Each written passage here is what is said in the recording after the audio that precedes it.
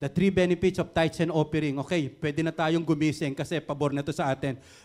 Hindi na sisikip ang hininga nyo dito. Ano po? Yung tithes ka lang, pastor, nahihirapan na ako. Yung offering pa, eh. sige, mamaya pag-pray natin, kuhanin ka na ni Lord. Ano po? Para hindi ka mahirapan mag-tithes. Okay, number one blessing is provision. Sabi natin lahat, provision. Provision. God will provide overwhelmingly. Ano po? Pour out so much blessing that there will not be room enough to store it. Abangan natin to. Kapag hanggang ngayon, kasya-kasya pa lang meron tayo, hindi pa ho yun ang pangako ng Diyos. Eh, ang pangako ng Diyos, walang sukat pagkalagyan. Sobra-sobra. Kumbaga sa tubig, umad, dumatapo na. Nag-uumapaw na. Yung pwede mo sabihin, Lord, ah, tama na. Hirap na hirap na akong magbilang. Abang mo naman. ano po? Yung sasabi lang natin na, grabe ano, ang sarap po noon. Yung ikaw na umaayaw sa pagpapala, pero lagi ka pang hinahabol ng pagpapala. So sana ah, dumating tayo sa puntong ganon. Okay? Sabihin mo sa katabi niyo po, malapit na.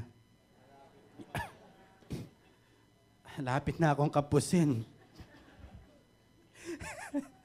Iba, ayaw na ayaw yung katapusan ng Lord. Pwede bang wala ng 30 sa kalendaryo? Sige anak, gagawin kong February 29 lahat. Ano po, para wala nang sumisingil sa iyo.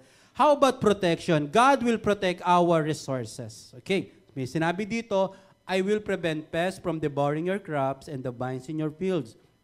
Will not drop their fruit before it is ripe, says the Lord Almighty. Yung fields na binabanggit dito is your profession, your business, your career, pwedeng pag-aaral. Yan po yan. I, i, pwede rin pong kalusugan natin yan. Ano po? Sabi, hindi ka dadalawin ng salot or pipigilin ko yung salot. Kaya yan maganda, pag tinabi natin yung tithes, yung 90%, yung talaga honestly, ang poprotektahan ni God, kaysa naman naggastos mo na't lahat, saan napunta pera ko? Ito ang pinakamasakit, ano? Tagal natin nagtrabaho, alaman lang na ipon, ala ka man lang pong nakuha man lang. Ang hirap naman yung pinagtrabahoan mo sa sakit lang mapupunta o sa pamyansa sa anak mong pasaway. Lalo sa atin dito, I don't know, um, I believe naman maraming bagay na nangyayari sa atin. Pero ang sagwa naman, ano, kung kabibili mo lang ng cellphone, hindi mo pa na ikakabit yung SIM card na nakaw na. Ang sakit naman ho noon, ano? Yung, yung, yung parang ano, yung parang may salo talaga. Nag-apply ka ng trabaho, tinanggap ka. Wala pang isang linggo, nagsara na yung kumpanya. Sabi, sabi siguro ng kumpanya, anong balat kaya meron sa puwet yung lalaking to? Hindi ba, kanenegosyo mo pa lang, lugaw. Lugaw. Hindi mo pa niluluto, panis na. So isasabi natin, parang sa lahat naman ng kamalasan, ikaw yung sasagap lahat. Ano po, sa dami na makagat na aso, ikaw ang inabol. Ang dami dumaraan doon, hindi hinahabol. Ano po? Grabe. Ang binti ko pa mula ng sukat pagkalagyan. Running over ho talaga. Hindi ko po siya sabi mga coins yung binti natin. Pero I believe God, by His precious blood po ng ating Panginoong Jesus, kaya niya tayong protektahan sa mga salot ng buhay. Amen po ba tayo doon? Kahit po yung bahay natin, kapag iiwan natin, ang sarap po na hindi ka nag-aalala, baka, baka may magnakaw. Huwag kang mag-alala. Wala namang mananakaw eh. Ano po? Hindi, sasabi ko lang, kaya tayong pagpalain ng Diyos na hindi tayo po nag-aalala dahil under po tayo ng proteksyon ng ating Diyos. Amen po ba tayo doon? Malakas na palakpak para sa Diyos. Hallelujah. Sila ang mag-ingat sa atin dahil ang Diyos talaga yung humahawak po sa atin at nagbabantay. Number three is prosperity. God will prosper us in many ways. Ito yung maganda, no? Yung anumang hawakan na yung kamay, pagpapalain ng Diyos. Ano man yung lugar na puntahan mo, pagpapalain ka ng Diyos. I don't care kung Pilipinas, Amerika, Thailand, Indonesia, Singapore yan. Yung kahit saan ka pumunta, laging naroon yung kamay ng Diyos at pinagpapala ka. Kahit ano pang bangko yan, ano po, ay tunay po na pinagpapala ka ni God. Ang ganda-ganda ng verse na ito. And God is able to bless you abundantly so that in all things at all times, having all that you need, you will abound in every good work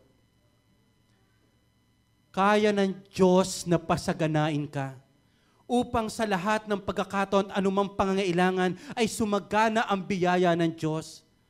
Alam nyo, ito yung nakalulungkot lang po ano na sitwasyon. Yung maraming Pilipino pag nakakita ng mahirap, kawawa. Na namang ginagawa? Ha, nasunugan? Kawawa. Binaha? kawawa. Alam nyo, kung si God nang babatok, matagal na itong binatukan. Ba't kailangan natin magsabing kawawa kung meron naman tayong magagawa? Alam nyo, ito pangarap ko sa PCF family.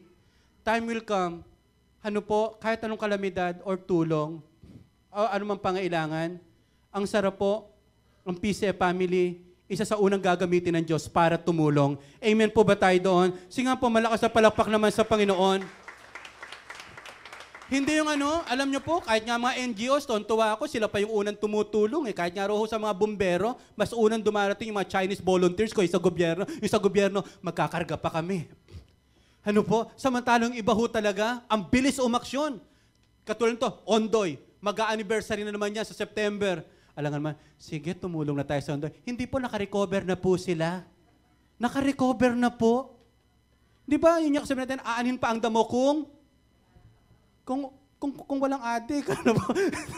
Hindi. Ang sabi natin is, kung patay ng kabayo, alam nyo po, minsan it's too late na tumulong. Wala na kwenta yung tulong natin.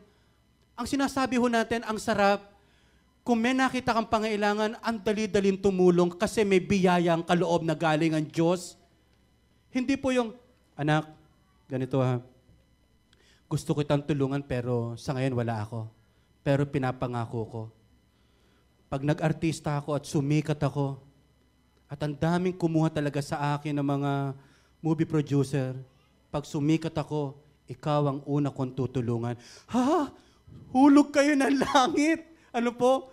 Alam niyo, malabo po yan eh. Kaya nga po ngayon, maraming tao, puro pangako na tutulungan. mag eleksyon na naman. Ang daming ipapangako. Pero mga kapatid, pwede ho ba ilagay natin ang tiwala natin sa Diyos? na siyang tunay po na kayang tumulong sa atin at maghango sa ating kahirapan kung tayo po ay magiging tapat lamang at tunay po na hindi magiging maramot sa buhay. Lagi ko pong sasabihin ito at hindi ko pangihinayangan po na ulit-ulitin. Ang isang taong laging nakahingi, hindi makakaalis sa kahirapan. Ang isang lalaki o babae o mga anak na laging pineperwisyo ang magulang kahihingi, hindi makakaalis sa kahirapan.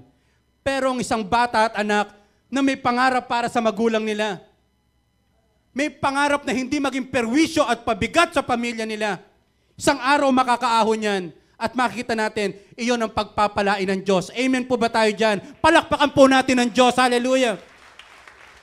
Buti na lang wala tayo sa Old Testament. Sa Old Testament, binibiti ng buhay ang mga anak na pasaway, ang mga pabigat sa magulang.